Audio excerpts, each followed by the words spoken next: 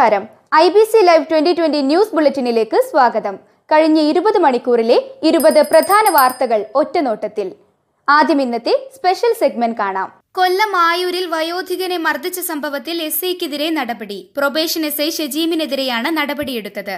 വയോധികനെ നടുറോട്ടിൽ മർദ്ദിച്ച സംഭവത്തിൽ ഡിഐജി സഞ്ജയ് കുമാർ ഗുരുതിന്റെ റിപ്പോർട്ടിന്മേലാണ് നടപടി. മഞ്ഞപ്പാറ സ്വദേശി രാമാനന്ദനെയാണ് പ്രൊബേഷൻ എസ് ഐ നജീം മുഖത്തടിച്ചത്. പ്രദേശത്ത് ചടയമംഗലം പോലീസ് വാഹന പരിശോധന നടത്തുന്നുണ്ടായിരുന്നു. ഇതിനിടെയാണ് മഞ്ഞപ്പാറ സ്വദേശിയായ രാമാനന്ദൻ നായർ സുഹൃത്തുമായി ബൈക്കിലെത്തിയത്. ബൈക്കിന് പിന്നിലായിരുന്നു ഇദ്ദേഹം യാത്ര ചെയ്തിരുന്നത്. പോലീസ് കൈകാണിച്ച് വാഹനം നിർത്താൻ ആവശ്യപ്പെട്ടു. ഇരുവർക്കും ഹെൽമറ്റോ വാഹനത്തിന്റെ മറ്റു രേഖകളോ ഉണ്ടായിരുന്നില്ല. ഇരുവരോടും അഞ്ഞൂറ് രൂപ വീതം പിഴയടക്കണമെന്ന് ആവശ്യപ്പെട്ടു. കൂലിപ്പണിക്കാരാണ് ഇപ്പോൾ പണമെടുക്കാനില്ലെന്നും ഇരുവരും അറിയിച്ചു. പിന്നീട് ഇവരെ കസ്റ്റഡിയിലെടുക്കാൻ പോലീസ് ശ്രമിക്കുകയായിരുന്നു. രോഗിയാണെന്ന് രാമാനന്ദൻ നായർ അറിയിച്ചെങ്കിലും പ്രൊബേഷൻ എസ് ഐ നജീം അടക്കമുള്ളവർ വാഹനത്തിൽ കയറ്റിക്കൊണ്ടു പോകാൻ ശ്രമിക്കുകയായിരുന്നു. രാമാനന്ദൻ നായരെ വാഹനത്തിൽ കയറ്റാൻ ശ്രമിക്കവേ പ്രതിരോധിക്കുകയും പോലീസ് ബലം പ്രയോഗിച്ച് വാഹനത്തിൽ കയറ്റുകയും ചെയ്യുകയായിരുന്നു. ഇതിനിടെയാണ് വയോധികന് മുഖത്തടിയേറ്റത്. ജംഗ്ഷനിലുണ്ടായിരുന്ന ചിലരാണ് ദൃശ്യങ്ങൾ പകർത്തിയത്. രാമാനന്ദൻ നായർ മദ്യപിച്ചിരുന്നു എന്നാണ് പോലീസ് പറയുന്നത്. എസ് ഐ ആക്രമിക്കാൻ രാമാനന്ദൻ ശ്രമിച്ചെന്നും പോലീസ് പറയുന്നു. ഇതിനെ പ്രതിരോധിക്കുക മാത്രമാണ് ചെയ്തതെന്നും വിശദീകരിക്കുന്നു. ദൃശ്യങ്ങളടക്കം സംഭവം വിവാദമായതോടെ വിശദമായി അന്വേഷിച്ച് റിപ്പോർട്ട് നൽകാൻ സ്പെഷ്യൽ ബ്രാഞ്ച് ഡിവൈഎസ്പിയോട് റൂറൽ എസ് ആവശ്യപ്പെട്ടു. നമ്മുടെ പോലീസ് സേനയിൽ ചിലരിങ്ങനെയാണ്. വൃദ്ധർ സ്ത്രീകൾ കുട്ടികൾ എന്നിവർക്കൊക്കെ സംരക്ഷണവും ആശ്വാസവുമാകേണ്ട കരങ്ങൾ അവരെ മർദ്ദിക്കാൻ തുടങ്ങിയാൽ എന്തു ചെയ്യും? നമ്മുടെ പോലീസ് സേനക്ക് കളങ്കമായ ഇത്തരം ഉദ്യോഗസ്ഥരെ നിയന്ത്രിച്ചേ തീരൂ. വീഡിയോ ദൃശ്യങ്ങൾ കാണാം.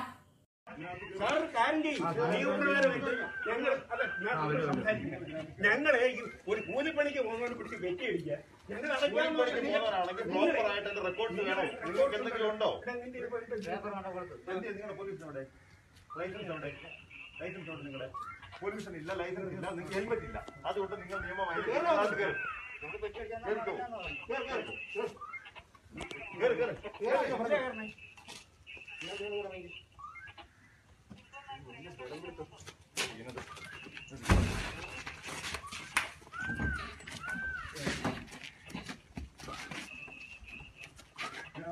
ഒരു കാര്യം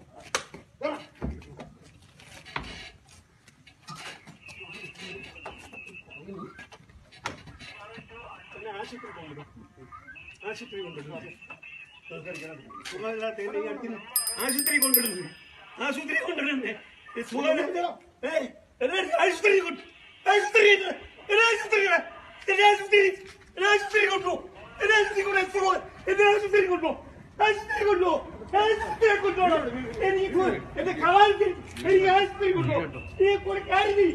ഏത് സർക്കാരും എന്റെ ആശുപത്രി കൊണ്ടു കൊണ്ടു അല്ലെങ്കിൽ ഒന്നി കൊല്ലണം. കൊല്ലണം. കൊല്ലണം.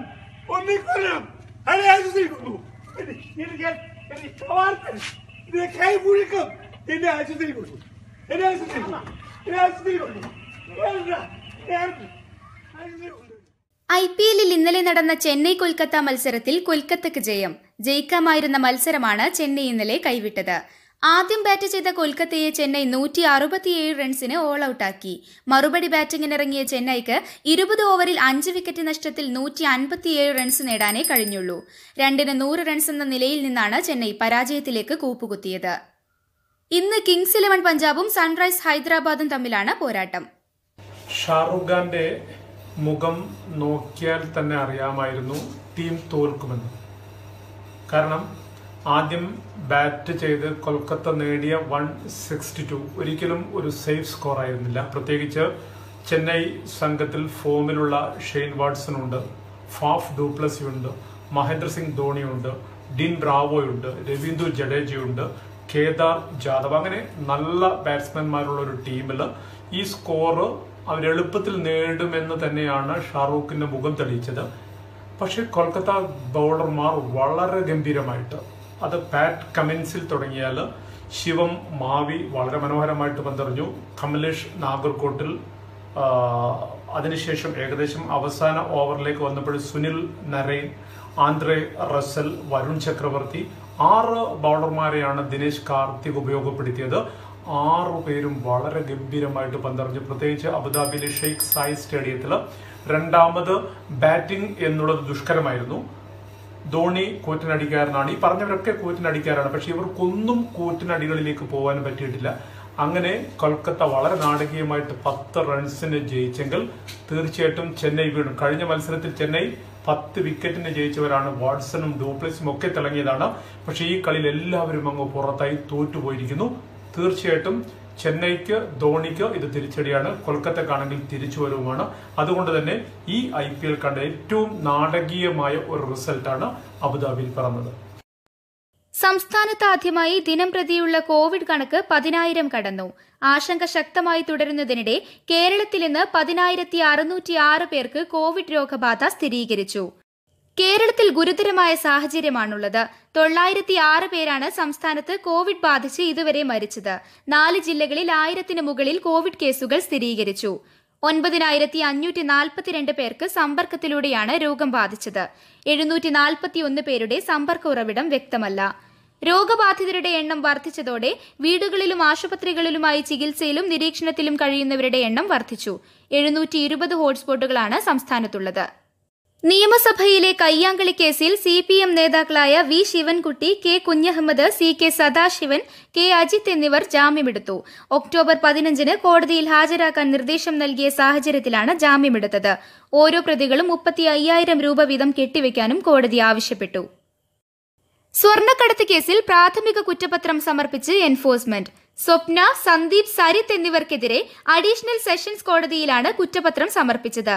കള്ളപ്പണം വെളുപ്പിച്ചതിന് തെളിവുണ്ടെന്ന് പ്രാഥമിക കുറ്റപത്രത്തിൽ പറയുന്നു. ഡിജിറ്റൽ തെളിവുകൾ ലഭിച്ച ശേഷമായിരിക്കും അന്തിമ കുറ്റപത്രം സമർപ്പിക്കുക. സ്വർണക്കടത്ത് കേസിൽ സ്വപ്ന സുരേഷ് അടക്കമുള്ള ഏഴ് പ്രതികളുടെ ജാമ്യാപേക്ഷ കൊച്ചി എൻ ഐ എ കോടതി ഇന്ന് പരിഗണിക്കാനിരിക്കെയാണ് ഇ ഡി കുറ്റപത്രം സമർപ്പിച്ചത്. അനധികൃത സ്വത്ത് സമ്പാദനവുമായി ബന്ധപ്പെട്ട് അന്തരിച്ച തമിഴ്നാട് മുൻ മുഖ്യമന്ത്രി ജയലളിതയുടെ തോഴി വി കെ ശശികലയുടെ രണ്ടായിരം കോടിയുടെ സ്വത്തുക്കൾ മരവിപ്പിച്ചു. ബിനാമി സ്വത്ത് നിരോധന നിയമപ്രകാരം ആദായ നികുതി വകുപ്പാണ് നടപടി സ്വീകരിച്ചിരിക്കുന്നത്. മുന്നൂറ് കോടി വീതം വിലമതിക്കുന്ന സിരുതവൂർ കൊടനാട് എന്നിവിടങ്ങളിലായുള്ള രണ്ട് സ്വത്തുക്കളും മരവിപ്പിച്ചതിൽ ഉൾപ്പെടും. ഇത് പുതിയ ഇന്ത്യ എന്നത് വെറും വാക്കല്ലെന്ന് വ്യക്തമാക്കി പ്രധാനമന്ത്രി നരേന്ദ്രമോദി. ചൈനീസ് അതിർത്തിയിൽ ഇന്ത്യയുടെ പുതിയ അണ്വായുധ മിസൈൽ വിന്യസിപ്പിക്കാൻ പ്രധാനമന്ത്രി അനുമതി നൽകിയതായി ദേശീയ മാധ്യമങ്ങൾ റിപ്പോർട്ട് ചെയ്യുന്നു. സംഘർഷം പുകയുന്ന അതിർത്തികളിൽ ഇന്ത്യയെ ഭയപ്പെടുത്താൻ ചൈന വളർന്നിട്ടില്ലെന്ന ശക്തമായ മുന്നറിയിപ്പാണ് പ്രധാനമന്ത്രി ഇതിലൂടെ നൽകിയിരിക്കുന്നത്. ആരാധനാലയങ്ങളിൽ ഒരു സമയം പരമാവധി ഇരുപത് പേരെ അനുവദിക്കാൻ മുഖ്യമന്ത്രി പിണറായി വിജയന്റെ അധ്യക്ഷതയിൽ ചേർന്ന ഉന്നതതല യോഗത്തിൽ തീരുമാനമായി. ഇത് സംബന്ധിച്ച് മാർഗരേഖ പുറത്തിറങ്ങി.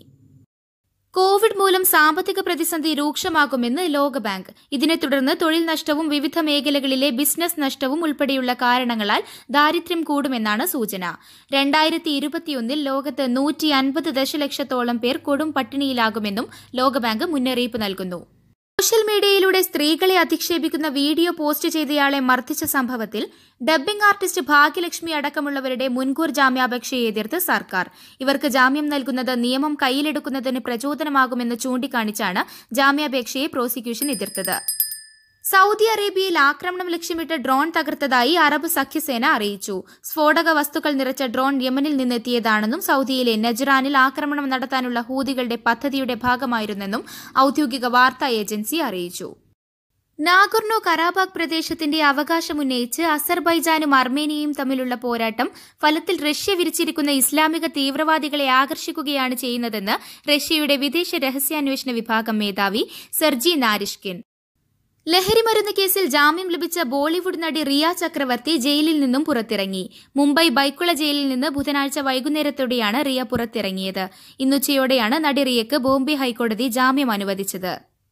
ബോളിവുഡ് താരം സുശാന്ത് സിംഗ് രജ്പുത്തിന്റെ മരണവുമായി ബന്ധപ്പെട്ട് ഉയർന്ന ലഹരിമരുന്ന് കേസിൽ ജാമ്യം ലഭിച്ച നടി റിയ ചക്രവർത്തിയുടെയോ അഭിഭാഷകരുടെയോ അഭിമുഖത്തിനോ വാർത്തക്കോ വേണ്ടി വാഹനം പിന്തുടരുന്ന മാധ്യമങ്ങൾക്കെതിരെ കർശന നടപടിയുണ്ടാകുമെന്ന് മുംബൈ പോലീസ്. അദാനി കോട്ട് ചെയ്ത തുകക്ക് തിരുവനന്തപുരം വിമാനത്താവള നടത്തിപ്പേറ്റെടുക്കാൻ തയ്യാറാണെന്ന് സംസ്ഥാന സർക്കാർ ഹൈക്കോടതിയെ അറിയിച്ചു.